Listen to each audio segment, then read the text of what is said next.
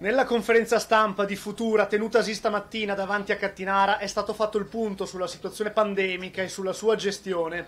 Tante le critiche sia verso l'amministrazione regionale che avrebbe fatto poco in ambito sanitario, tantissimi sono stati i paragoni col vicino Veneto, che verso il governo di Roma giudicato impreparato e tentennante su troppe situazioni, dalla gestione sanitaria a quella dei ristori, non riuscendo a bilanciare tutti i vari interessi e distruggendo il tessuto economico.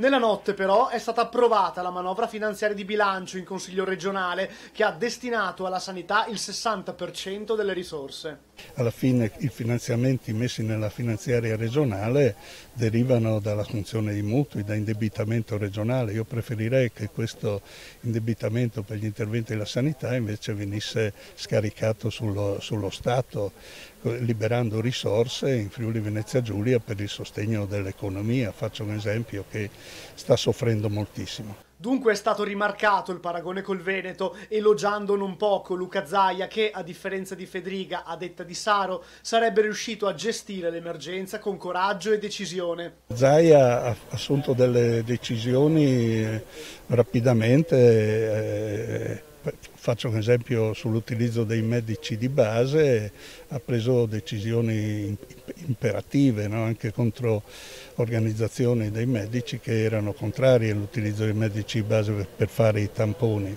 Ha fatto delle azioni a tappeto sulle case di riposo per cercare di evitare la diffusione del contagio tra positivi e negativi, ha eh, fatto un numero considerevolissimo di tamponi molto superiore in rapporto alla popolazione a quella del Friuli Venezia Giulia. Zaia è stato sicuramente più decisivo. Poi un passaggio anche sulle elezioni comunali a Trieste, possibili alleanze per futura o corsa solitaria? Al primo turno non ci saranno eh, delle alleanze, La, i nostri amici qui di Trieste fatto, faranno una forte lista civica e si presenteranno autonomamente al primo turno. Al secondo turno valuteremo in base anche ai programmi si, eh, che tipo di convergenza si possa realizzare.